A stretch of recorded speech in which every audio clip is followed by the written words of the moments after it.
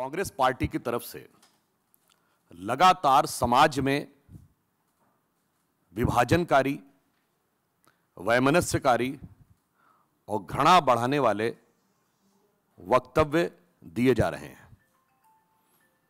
इसी श्रृंखला में कांग्रेस के वरिष्ठ नेता श्री दिग्विजय सिंह जी ने पिछले एक दो दिनों में लगातार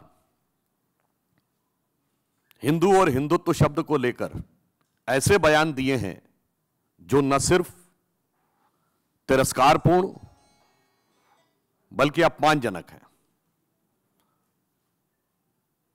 उदाहरण के लिए वो ये कहने का प्रयास करते हैं कि ऐसा तो कोई शब्द है ही नहीं।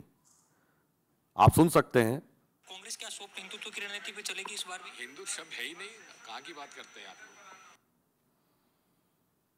अब मैं कांग्रेस अध्यक्ष राहुल गांधी जी से पूछना चाहता हूँ। यदि हिंदू शब्द नहीं है तो कांग्रेस के मीडिया विभाग के प्रचार प्रमुख श्री सुरजेवाला जी ने उन्हें जनेऊधारी हिंदू कैसे कहा था?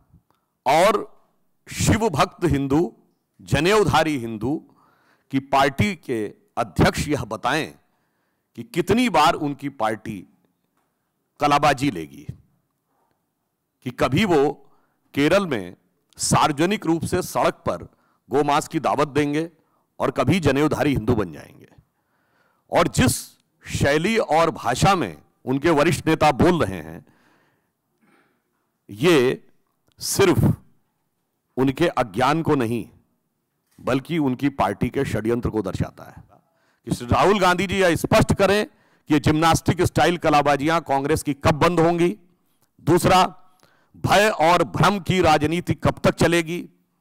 तीसरा, घृणा और वैमनस्य की राजनीति। और हिंदू और हिंदुत्व शब्द के साथ अपमान, तिरस्कार और घृणा का यह अभियान कब तक चलेगा?